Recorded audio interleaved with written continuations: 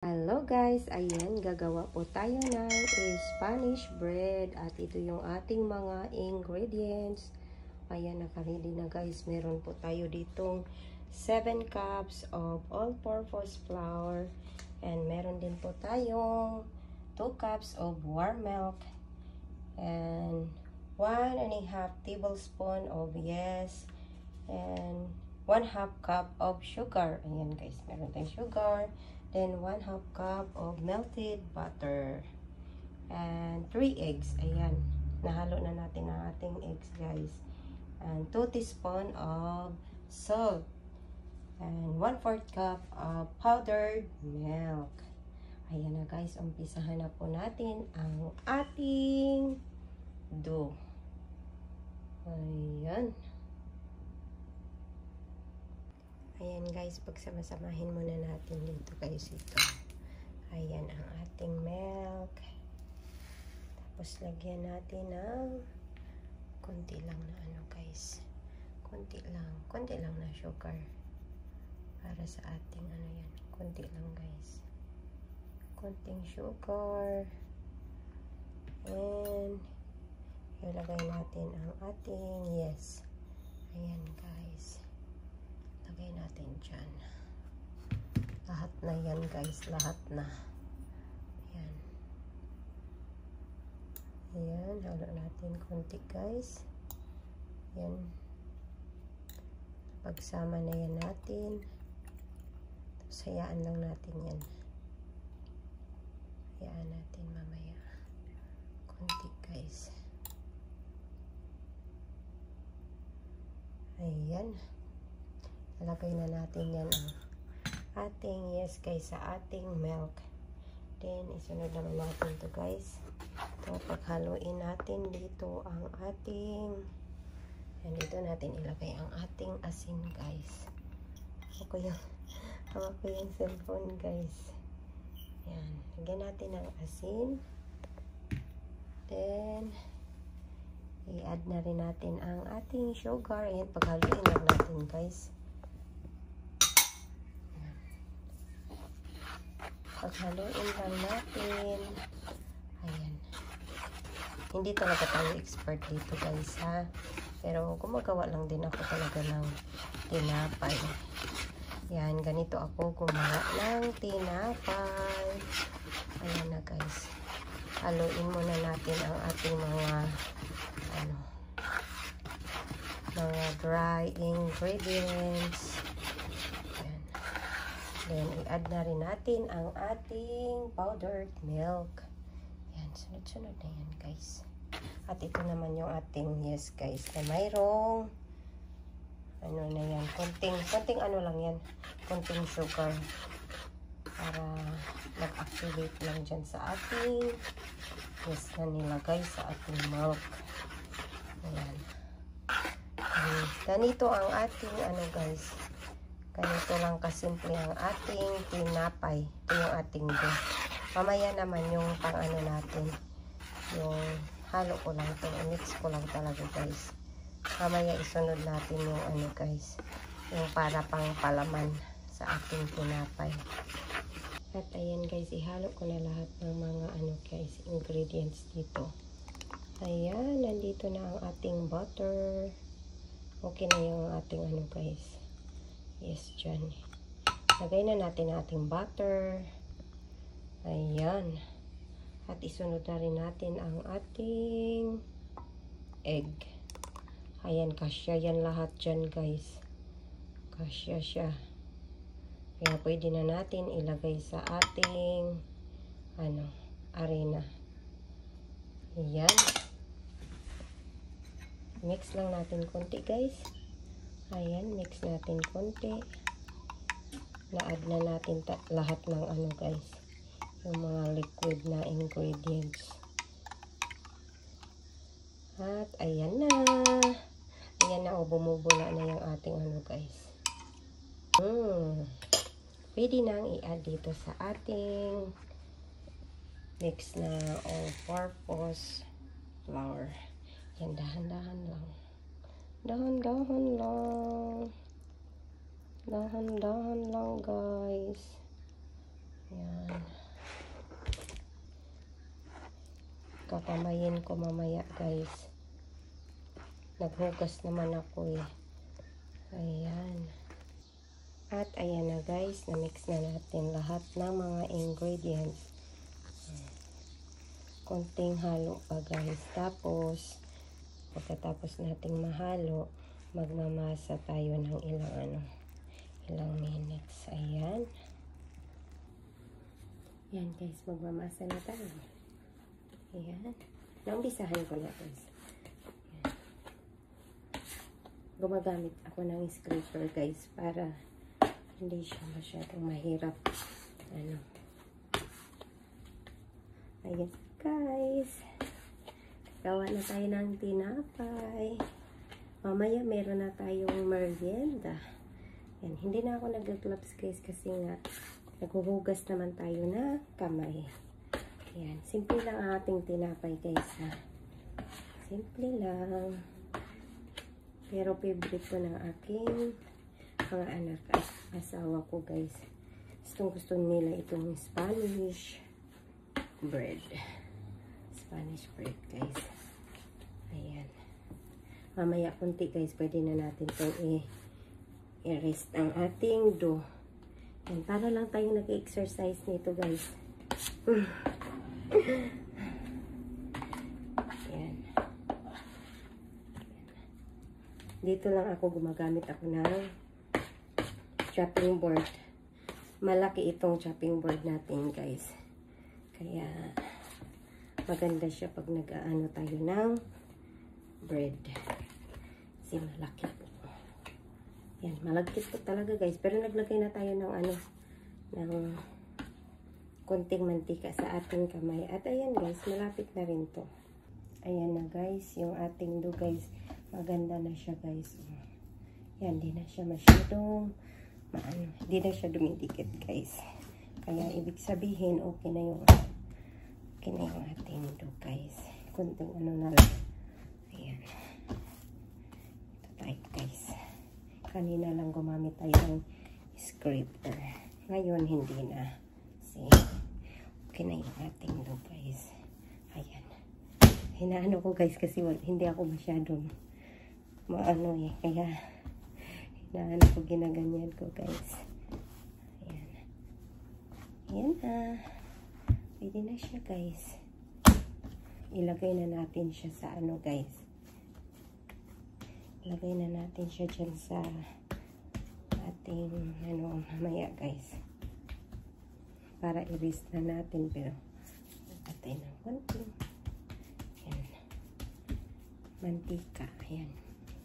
Ayan guys nalagay ko na pala ang ating dough at bago ko nilagay dyan sa ating ano guys sa ating palanggana naglagay ako ng konting mantika sa palanggana guys para hindi siya didikit. Ayan. Takpan ko na lang yan. Then after 1 hour ayan. Gagawin na natin guys. Ayan guys may cover na ang ating dough i-rest na po natin guys. At ito na guys ang ating mga ingredients para sa ating palaman ayan meron tayong 1 cup of melted butter and 1 cup breadcrumbs then 1 cup of sugar Ayan na guys, na-mix na natin ang ating palaman. Ayan na guys, okay na yung ating dough. Buksan na natin. Ayan,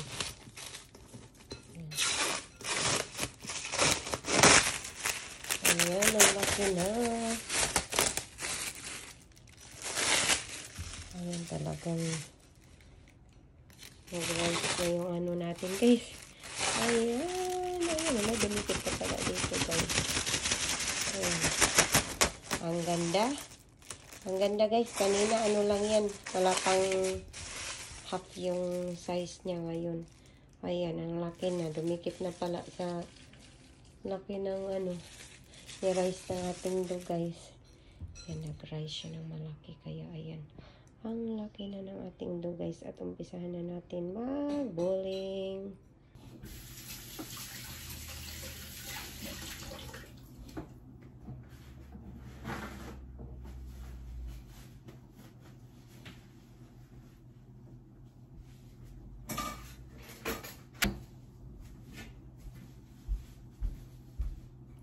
Ayan guys, yung ating tray.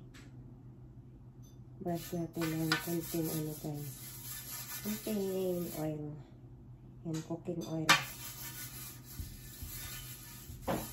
Para hindi didikit yung ating tinapay mamaya. Pag bake na. Ito yung ating gamitin na tray guys. Para sa ating bread. Ayan. Dalawa guys. Mas gusto ko kasi ito na tray guys kasi para hindi masunog yung ilalim ng ating bread. Ayan, i-brush po natin ng cooking oil.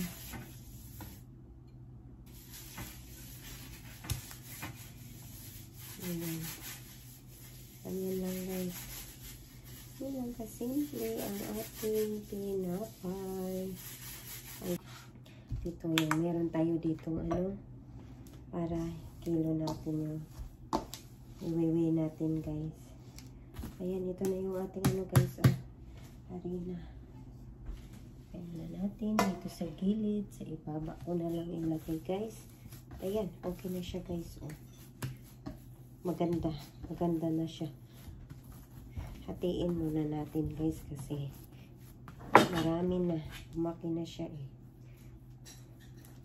hatiin natin hatiin muna natin tapos balik natin dito sa lagayan para i-cover muna natin siya cover muna natin yung natira cover muna yung natira guys at ayan na natin. Teka lang, hindi ko mahanap yung ano niya. Dapat yung ons lang. Ayan. Ayan.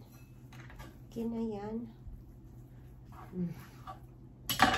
Okay na yan. At, diba? Kasi para medyo, ano po guys. Hindi tayo ano eh. Hindi tayo magaling dito guys. Gawin ko lang ano, mga 38 lang siguro. 38 to 40. Parang late naman. 38. 40 na lang para mas malalaki yung ating tinapay guys. Ayan, gawin natin 40. Ayan. Gawin natin 40 guys. At ito ilagay natin muna dyan. Kasi yung size niya.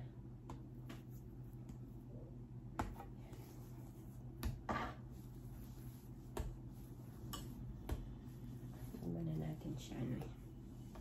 Basta. Hindi tayo, hindi tayo expert guys ha. Talagang gumagawa lang tayo. Pero hindi tayo kagaya yung iba ba na talagang ang galing nila gumawa ng tinapay. Malaki itong tinapay ko guys kasi 40 ba naman yung ano niya. Malalaki na to guys. Lalakihan na natin.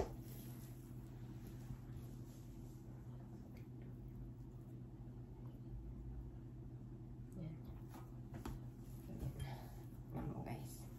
Ayan. I-ready lang natin to. Tapos mamaya, lagyan natin ng palaman. Yan. Tapos, takpan natin. Ang ganda niya guys. Hindi na siya madikit. Hindi na siya sticky sa kamay. Kasi nga talagang ano, maganda yung ating dough guys. Kaya, tingnan mo guys. Ganda niya. Ilan ba to? Parang konti lang yung nagawa ko. Kasi nga malala malalaki yung size kaya konti lang nagawa natin guys. Masyado atang malalaki.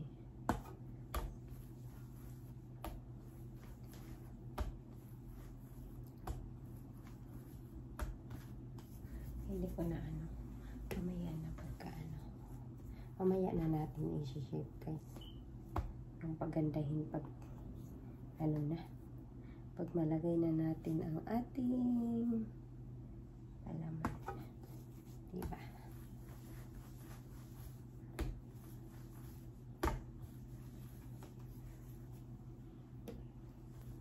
Ayan. Hindi na natin umpisahan para mabilis matapos. Para mabilis po matapos. Mag maglalagay na tayo ng alaman. Ayan. Kaya hindi na siya kailangan pang pagandahin pa kanina guys. Kasi nga, meron naman tayong ano eh. Meron tayong pampaganda. Gamitan naman natin siya ng ganito. Tapos, lagyan na natin ng, ayan, ito na yung ating palaman guys.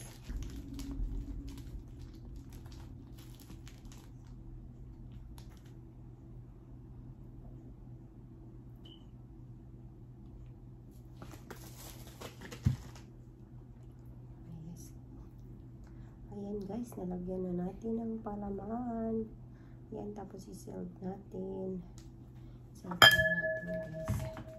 Yan, ganyan siya guys. Oh. Yan lang.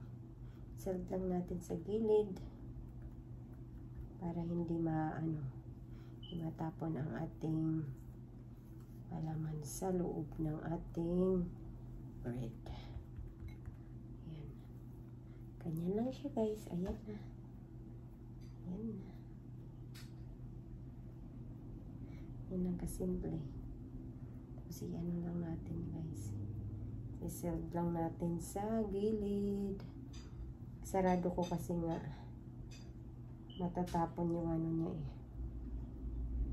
Kailangan itong masarado, masaradong maigi. Ayan. Ayan na guys. Kahit hindi tayo expert guys sa paggagawa ng tinapay. Pero okay din yung ating tinapay guys. Importante masarap. masarap po ang lasa ng ating bread. Tapos ito yung ating breadcrumbs. Ayan. I-roll lang natin sa breadcrumbs. Ayan. Meron na tayong Spanish. Ayan. Ayan na guys. Ayan. Na po. Ayan na po. Ayan. Ayan na po ang ating Spanish bread. Ay, nakalimutan ko pala yung ano. Pagkaya natin guys.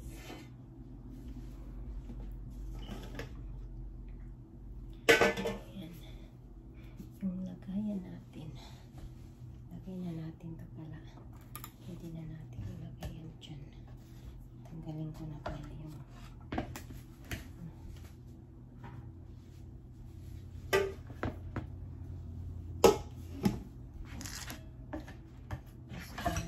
konti ang ating mga ayan.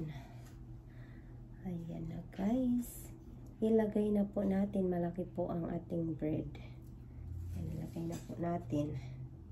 Ayan ang ganda po niya. Napakaganda po ng ating bread guys. Ayan. ang ganda. Ayan. Then tuloy na natin. Tuloy lang po natin ang ating pag na guys. Tuloy lang natin guys. Ilog lang natin saglit. Tapos i na natin diba mas mas madali. Yan maganda po. Maganda po Ayan. Ito po guys. Medyo malapad lang dito na side. Ayan. Tapos doon. Yun yung patulis. Ayan. Tapos ilagay na natin ang ating palaman. Ayan. Nakalagay yan sa ziplock. Tapos meron tayong ginagamit na ano. Wala kasi tayong bag yung para sa frosting naubusan ako guys yung para sa frosting talaga na bag. Kaya ziplock na lang yung gamit natin guys. Ayan. Para ano siya, madali lang siya ilagay. Ayan. Ganyan din. Ayan. Seld lang natin sa side. Ayan. Tapos, ano na natin, i-roll na natin, ganyan lang. Ayan. Ganda di ba? Ganda po ng ating tinapay.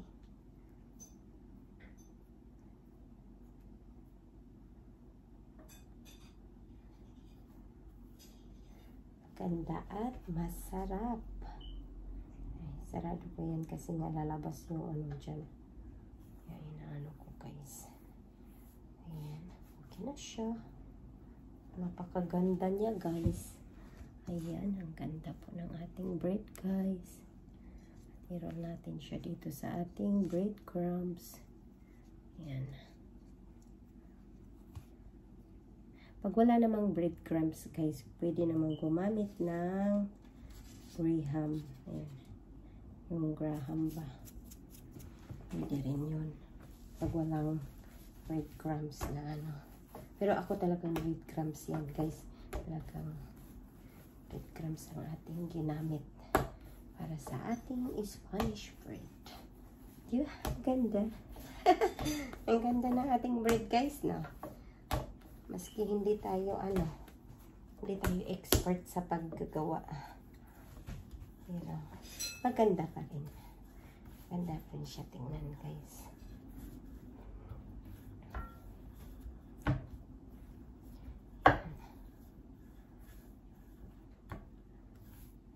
Yan. Ganda. Kung maganda siya ay dahil dito. Ito yung nagpapaganda sa ating tinapay.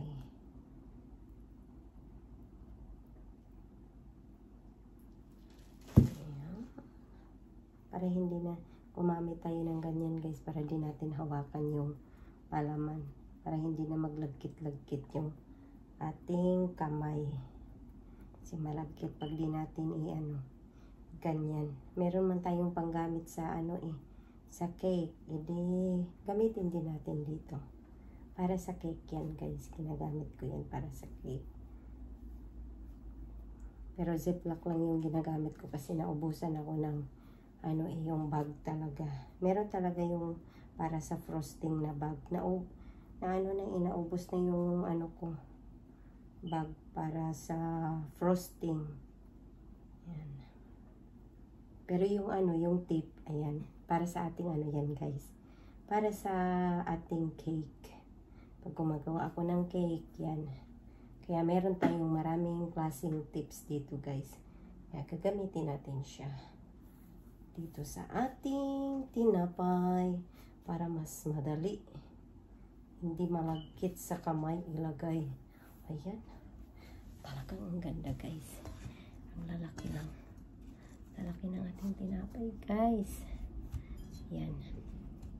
Talagang maganda yung ano niya. Maganda yung Teka. Lagyan natin ng ano guys. Ano natin. Cover lang natin kahit pa paano. Yan. Cover lang natin kahit pa paano yan. Ating Ayan guys. Gumawa din tayo ng cheese bread. Ayan. Lalagyan natin ng cheese yan guys. Kasi gusto din yan ng anak ko guys. Ayan. Ganyan lang. Simple lang siya guys. Yan. Tapos isarado natin sa gilid. Para hindi siya magano. Yan lang. Yan. Meron din tayong cheese bread. Yan cheese siya. Ayan. Mm. Ayan. Ayan siya, guys. Cheese lang yung palaman niya. Ayan. Sarado natin konti sa side naman para maganda din siya tingnan. Ayan. Meron na tayong ano din, guys. Cheese bread. Okay. At ayan na guys, tapos na ang ating mga tinapay. Pwede na nating i-bake. Ayan. Ang lalaki po guys. Malalaki yung tinapay natin guys. Ayan, dalawa po pala yung ating ano ngayon guys. Spanish bread tsaka cheese bread. Kasi request ng anak kong babae guys. Gusto din daw niya ng cheese bread. Ayan, ibibake na po natin. Yan.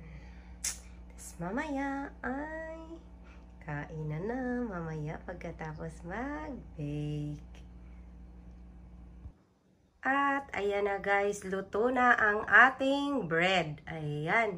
Ito pala yung ating ano guys, Spanish bread. Ayan, Spanish bread. Dito naman sa kabila, ito yung ano naman, meron ding cheese bread. Ayan, cheese bread yan guys. Ayan.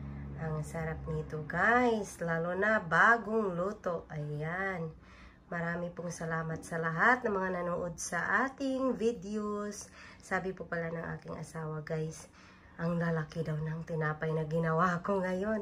Ayan, malalaki yan guys kasi para kahit isang piraso lang, busog na. Ayan, busog na tayo dyan guys, maski isang piraso lang. Dahil ang lalaki ng ating bread ngayon. Ayan, maraming salamat po sa inyo uli at Thank you, thank you. Bye-bye.